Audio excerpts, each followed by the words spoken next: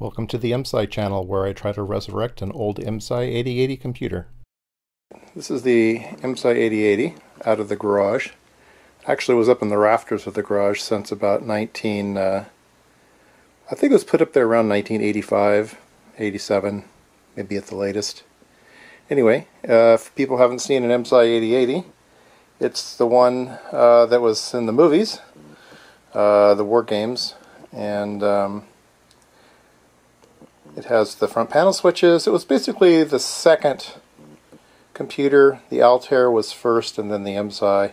Altair was kind of a hobbyist. The IMSAI was really a, um, meant for commercial application. And uh, I think a lot of people have seen the outside.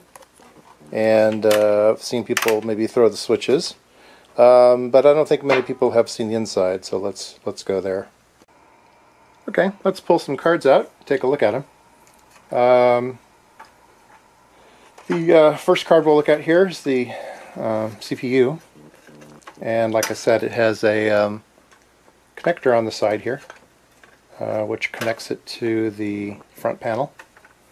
And that's to uh, halt the processor and uh, single step it. Allow to have allow the uh, front panel to take control over the bus and things like that. It's a simple card. It's got the 8080 microprocessor, um, a few support chips, and the boards all have their own regulator. So there's an unregulated 8 volts uh, DC that runs on the bus, and then you pick up that 8 volts, and then each card has its own um, 7805 regulator and a bunch of uh, decoupling. Away you go.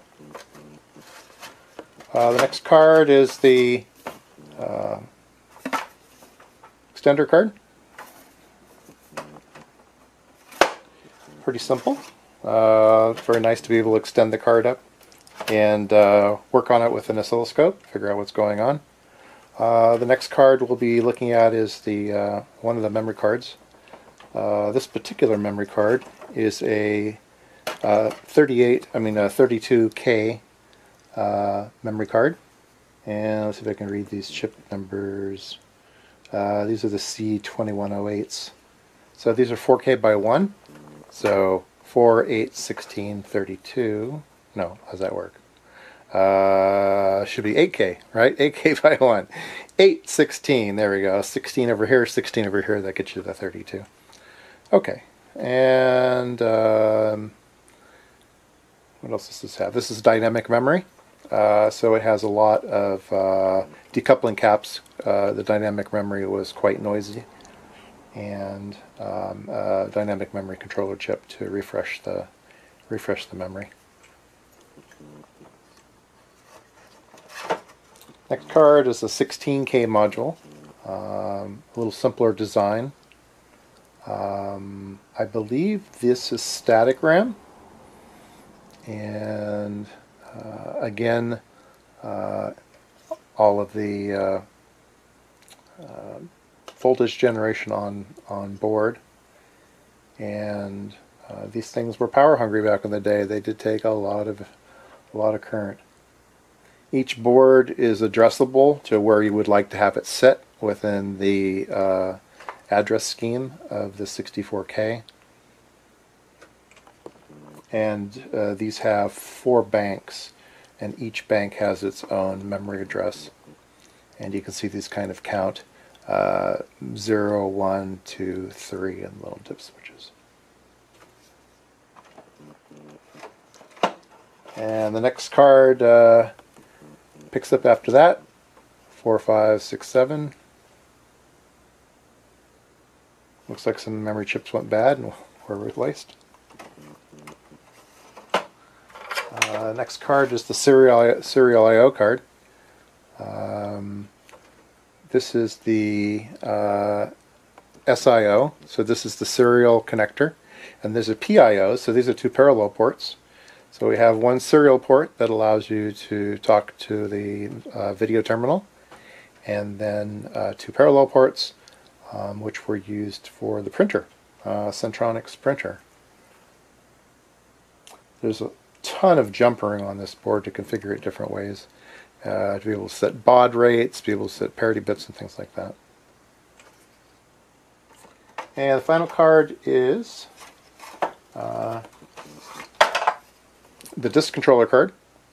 Uh, the disk controller card um, was based off of a um, uh, particular chipset. I don't remember who makes those chips now. FD. I don't know if that was part of Western Digital or uh, somebody else at the time. But the uh, interesting part of this card is this boot ROM. Uh, this is actually assembler code uh, that's not assembler code, but 8080 uh, code that sits uh, on the card at address F000, and it is actually the boot section that allows you to boot CP/M off of a um, floppy disk. So when you actually boot up uh, turn on the IMSAI, you actually have to set memory address F000 and tell it to run from there, uh, which will execute the code in this boot prom. The boot prom will then uh, load CP/M from the disk and put it into memory, which starts at zero. All right, so I was nervous about bringing the power up on this thing uh, for the very first time. So actually off camera, uh, before I decided to start filming this, um, I put this thing on a Variac and brought the voltage up very slowly while monitoring the current to make sure that there was no shorts or the capacitors hadn't shorted out. Um, and everything does seem to be okay. All right, so let's uh, power it up. There we go. So we get some LEDs. That's good. And uh, the LEDs are flashing. That's not a good thing. They shouldn't be flashing. They should be very steady. Uh, we can hit the reset. And it did do something. But again, you can see they have uh, some LEDs that are flashing. And watch this. So if I tap things, uh, we get lights going. So obviously there's there's some connector issues. Um, I'm hoping that's probably the only thing wrong with this thing is uh, taking all the thing apart, cleaning all the connectors, um, and putting it all back together. Hopefully we don't have any dead chips, but obviously there's some funny things going on. Uh, so right now I have the CPU in there and I have one memory card. Um, I believe we can get this memory card to address right now actually. So the way that we address is that we put in the address, there's a 16-bit address. If we put in uh, uh, uh, 1100 and say examine, um, it will try to look at that address. And in fact, it lit up. So that actually is working. Uh, that's a good thing. Let's go one more. That's a good thing. Let's go to FFF. That's also a good thing. Okay. Now I believe this card should be addressing, but it looks like it's not. I believe this card is probably up around the um, in the F's, something like that. Let's try to get to it. Examine one, three. Nope. Nope. I like the way the lights are working though. They're working correctly. If we did address the card, this LED will come on, uh, which it's not.